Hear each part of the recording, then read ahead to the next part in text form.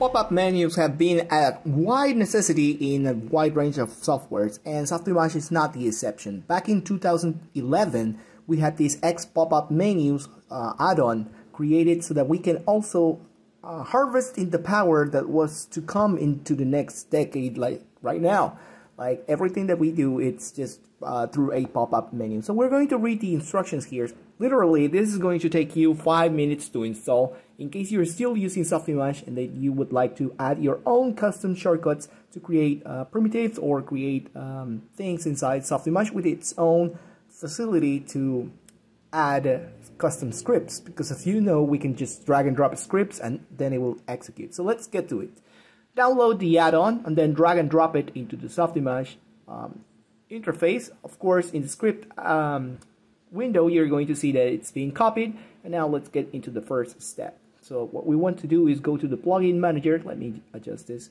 And then go to um, new add-on directory because we're going to create a new um, distributable uh, add-on, in which case we're going to use the name example xpop add-on. So just copy that and paste it on the directory name and it's been created. Now what we want to do is to assign um, a way to access that. And you're going to right click on it and then uh, select plugin. Like so right click and then new command. What you want to do is to name first of all name your your uh, custom command for calling into this script. And in our case we're going to use example xpop. It will automatically fill the plugin name as well. And the next thing that we're going to do is to choose uh, JScript. And after that we're going to copy the code snippet that we find in the page right here. You can check the link below to, to get to the page. So just copy this chunk of code.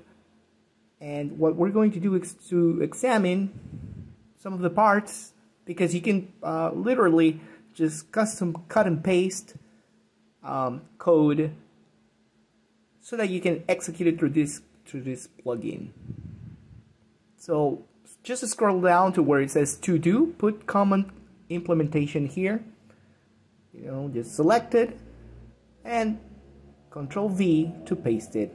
So let's just copy all of this copy, and now paste it over here. Fantastic.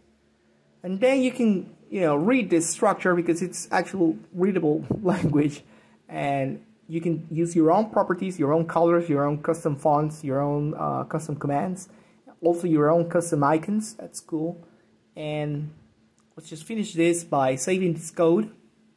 So just press right here, save, perfect and now it's been implemented. Now the next thing we need to do is to bind it to a keyboard shortcut, to a custom keyboard shortcut. So for that, you're going to go here, and now, uh, in this example, they, they uh, use Alt-T, which is an unbind keyboard mapping, but I'm going to use a new one, and therefore, uh, Softimage is going to ask me if I want to create a new, set, a new custom keyboard set, and then I will, um, of course, reply yes, because we what we want to do is to use Shift A in order for us to uh, call upon this um, custom pop-up menu.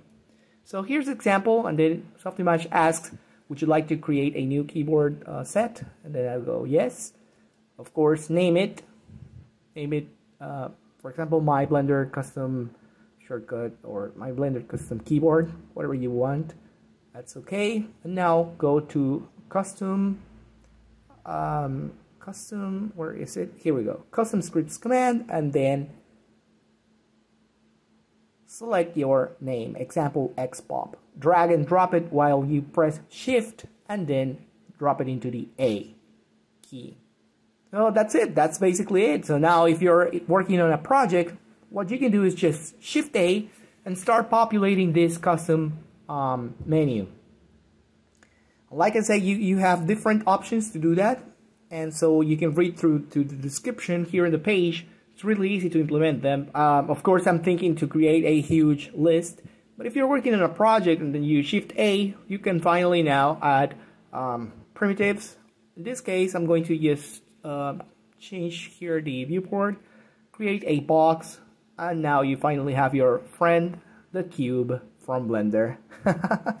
well, actually from any 3D software. Thank you very much.